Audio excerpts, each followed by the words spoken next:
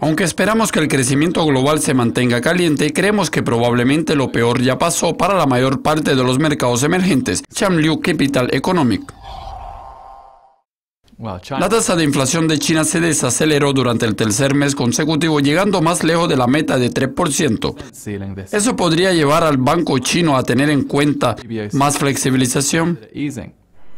La caída de la medida completa de la inflación sin duda abre más espacio para flexibilización, pero la caída de este mes fue casi total o fue completamente por una reducción de la inflación de los precios de alimentos, que a su vez fue liderada por una caída en los precios de la carne de cerdo. En este sentido, esta caída de la medida completa esconde un aumento de la inflación de los precios de artículos no alimenticios que subió a 1,4% en julio, el nivel más alto desde agosto de 2014. Por otro lado, esperamos que la inflación aumente de nuevo en los próximos meses. El bajo nivel interpuesto por la drástica caída de los precios del petróleo en la segunda mitad de 2015 debería estimular el precio de la energía y las inundaciones de China durante los últimos dos a tres meses. Y eso probablemente provocará un aumento de la inflación de los precios de los alimentos.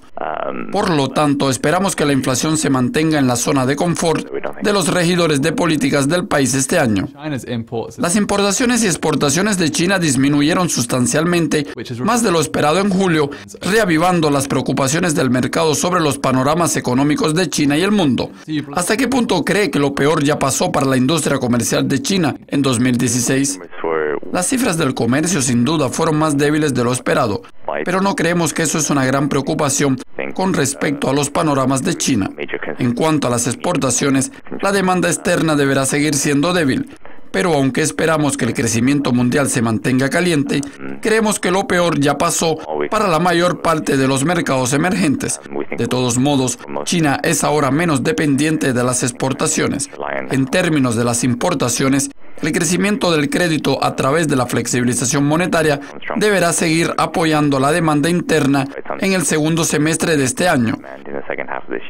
La caída de los precios de las materias primas desde la segunda mitad de 2015 también estimulará las importaciones que deben volver a registrar cifras positivas hasta finales de este año. ¿Cuáles son los principales indicadores con potencial para afectar significativamente el sentido económico de China?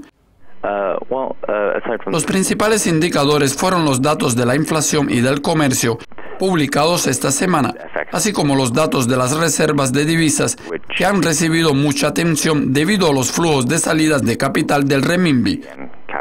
Por otro lado, los últimos datos mostraron que las reservas de divisas de China se mantuvieron estables y que el Banco Central probablemente reducirá sus intervenciones.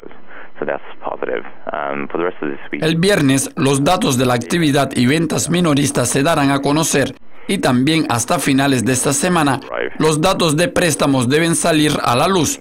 El crecimiento de la inversión debe permanecer estable a pesar del gasto fiscal que probablemente estimulará la inversión. Esperamos que la producción industrial acelere debido a la flexibilización monetaria y a las ventas minoristas que también deben seguir siendo fuertes. Gracias, Sham Liu. Sigan conectados a Duquescopy TV para más actualizaciones y entrevistas exclusivas. Hasta luego.